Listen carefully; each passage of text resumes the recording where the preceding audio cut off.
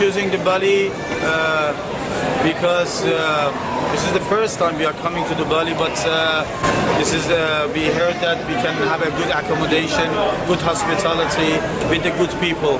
That we ha- we, ha- we can have a very uh, good training uh, site for preparation to go to Jakarta. Sebelum lanjut jika kalian ingin membeli jersey timnas Indonesia jersey lainnya atau peralatan olahraga lainnya bisa klik link yang ada di deskripsi.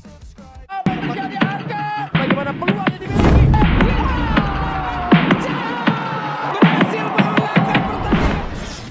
Dibuat terharu oleh kesopanan orang Indonesia.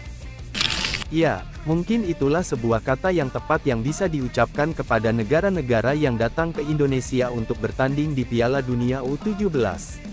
Ya, Indonesia kembali memuat dunia kagum dengan keragaman orang-orang Indonesia yang ramah-ramah.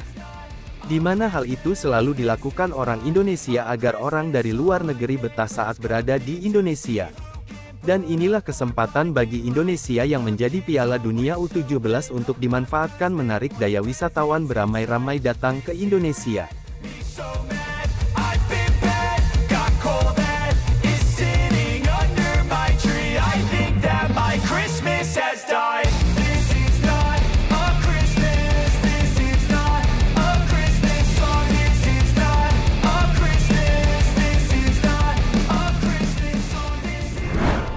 Ya, di negara lain, Indonesia memang terkenal dengan adat istiadat yang kental akan budaya. Di mana Indonesia merupakan negara yang terdiri dari berbagai budaya yang menjadi ciri khas di setiap daerahnya. Dan satu di antara keragaman budaya di Indonesia yang menarik perhatian ialah adat istiadat. Ya, adat istiadat adalah bentuk budaya yang mewakili norma, nilai, tradisi, dan kebiasaan bersama dari suatu kelompok atau daerah tertentu. Biasanya, adat istiadat digunakan untuk memandu sikap dan perilaku masyarakat tertentu. Maka tak heran jika orang Indonesia menjadi negara tersopan di dunia. Dan hal itu juga dilakukan saat timnas dari negara lain tiba di tanah air. Mereka tampak tersenyum menyambut kehangatan orang Indonesia yang membuat negara lain terharu dengan kesopanannya.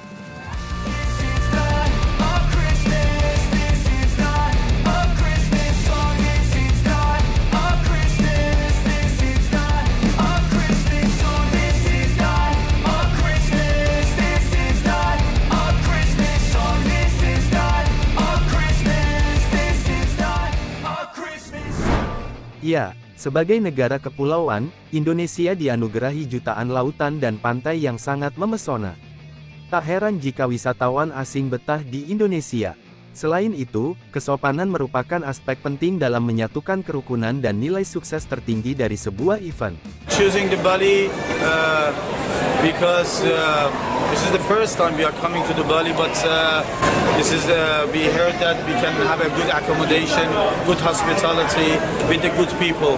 That we ha- we, ha- we can have a very uh, good training uh, site for preparation to go to Jakarta.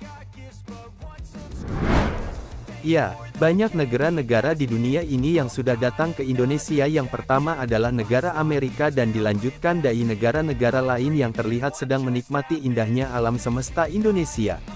Di mana mereka datang lebih awal karena mereka tahu akan keindahan Indonesia dan jadwal sesi liburan yang ia sudah perhitungkan di jauh-jauh hari. Membuat kebugaran agar permainan mereka bagus dan beradaptasi dengan iklim yang ada di Indonesia. Hal menarik dilakukan oleh timnas Spanyol yang datang ke Indonesia dan takjub dengan keramahan orang Indonesia.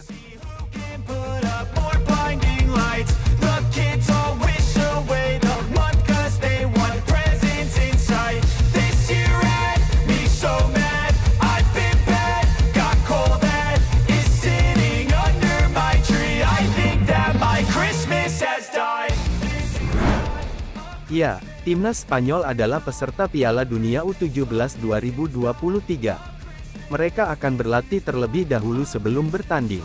Di mana yang mereka lihat adalah training center terindah yang pernah mereka lihat. Disambut dengan pantai laut yang biru mempesona, serta angin yang nyaman membuat para pemain betah berada di lapangan latihan dan bergembira. Christmas brought so much joy. Couldn't wait for the presents and laughter. I couldn't sleep late at night, looking for Santa with lights. Those are the memories I still remember. Ya, Piala Dunia U17 akan dihelat pada tanggal 10 November hingga tanggal 2 Desember yang diikuti 24 negara dihelat di empat kota berbeda.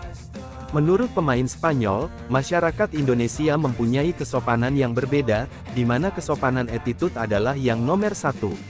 Mereka juga menyebut orang Indonesia adalah orangnya humble-humble sehingga mereka-mereka semakin betah berada di Indonesia.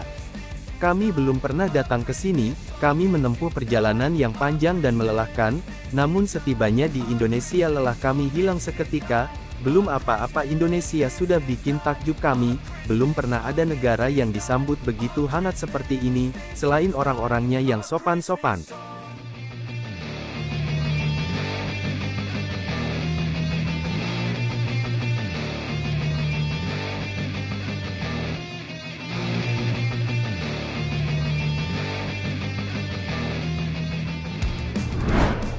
Ya, tak hanya itu saja, timnas Spanyol juga dikagetkan dengan kuliner Indonesia. Di mana timnas Spanyol sangat menikmati kuliner yang ada di Indonesia. Kata mereka, makanan di Indonesia sangat cocok di lidah orang Spanyol, karena dihiasi dengan bumbu-bumbu yang pas dari tanah Indonesia. Ya, hidangan Indonesia adalah salah satu tradisi kuliner yang paling kaya di dunia, dan penuh dengan cita rasa yang kuat. Kekayaan jenis masakannya merupakan cermin keberagaman budaya dan tradisi Nusantara yang terdiri dari sekitar 6.000 pulau berpenghuni, dan menempati peran penting dalam budaya nasional Indonesia secara umum. Hampir seluruh masakan Indonesia kaya dengan bumbu berasal dari rempah-rempah seperti diikuti penggunaan teknik-teknik memasak dengan pengolahan yang khusus. Tak heran jika timnas Spanyol terlena dengan masakan Indonesia. Ya, Hal ini sangat positif bagi Indonesia, di mana selain menunjukkan kualitas permainan, tempat dari timnas Indonesia, Indonesia juga mengenalkan wisatanya, kulinernya, budayanya, sehingga negara lain yang datang ke Indonesia ingin berlama-lama di Indonesia dan suatu saat akan kembali lagi ke tanah air tercinta ini. Ya, saat ini mereka juga merasakan indahnya Stadion Training Center di Bali. Tempat yang begitu epik hempasan air laut yang biru membuat para pemain timnas Spanyol semakin nyaman berada di Indonesia. Hal ini memang disetting PSSI dengan view yang menawan sehingga negara lain yang hadir di Indonesia merasa nyaman berada di Indonesia. Ya, jadi itulah tadi, kemewahan kemegahan kekayaan Indonesia akan alamnya yang membuat pemain timnas dari negara lain terhanyut akan keindahan Indonesia. Couldn't wait for the presents and laughter. choosing the Bali uh, because uh, this is the first time we are coming to the Bali, but uh, this is uh, we heard that we can have a good accommodation, good hospitality with the good people. That we ha- we, ha- we can have a very uh, good training uh, site for preparation to go to Jakarta.